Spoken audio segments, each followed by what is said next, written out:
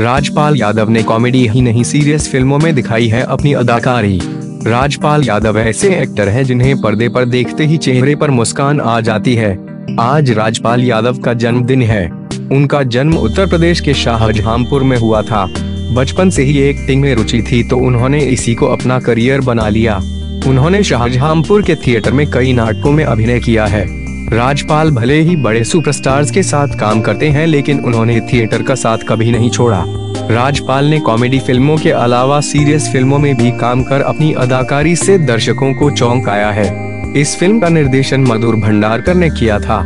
इसमें बार की ज़िंदगी को दिखाया गया। फ़िल्म में तबू लीड रोल में थी। दर्शकों ने इस फ़िल्म को खासा पसंद किया था। यह फ़िल्म 2001 में रिलीज़ हुई थी। तब्बू को बेस्ट एक्ट्रेस के लिए नेशनल अवार्ड से नवाजा गया था। यह फ़िल्म भोपाल में उन्नीस सौ चौरासी में गैस कांड पर आधारित थी, जिस किसी ने इस फ़िल्म को देखा वे रोने को मजबूर हो गए। फ़िल्म में राजपाल ने एक गरीब युवक का किरदार निभाया था। बहन की शादी और माँ के इलाज के लिए राजपाल एक गैस फैक्ट्री में करते हैं। बाद में उसी फैक्ट्री से गैस लीक हो जाता है, जिससे हज़ारों लोगों की मौत हो जाती है। फ़िल्म 2014 में आई थी। इस फ़िल्म में राजपाल ने एक ऐसे पति का किरदार निभाया था जो अपनी पत्नी पर शक करता है। यह 2005 में रिलीज़ हुई थी। राजपाल की सीरियस एक्टिंग ने सभी का दिल जीत लिया था। इस फ़िल्म में राजपाल के किरदार को कोई भी नहीं भूल सकता है। इसमें वह एक अलग ही किरदार में नज़र आए थे।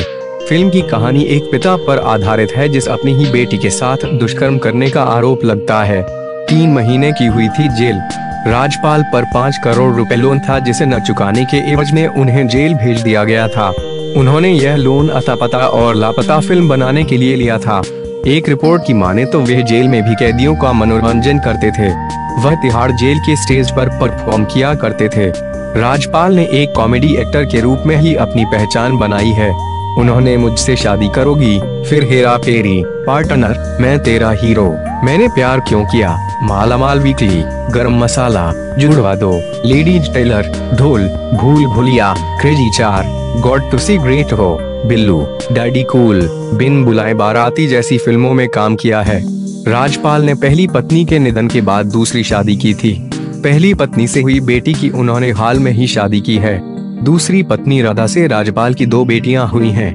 उन्होंने इसकी जानकारी सोशल मीडिया पर भी दी थी।